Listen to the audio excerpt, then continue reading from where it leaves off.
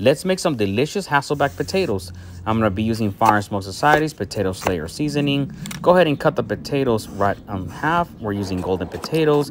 Then use chopsticks as a guide. Cutting the potatoes but not all the way down. You're going to make them look like an accordion. On a cast iron they go. Now we're going to hit that melted butter with the potato slayer seasoning, brushing on the potatoes.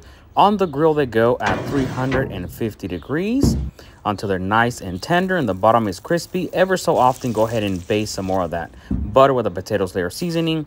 These came out absolutely fantastic. You can find potato slayer via link in my bio or at your local Walmart or Kroger stores nationwide.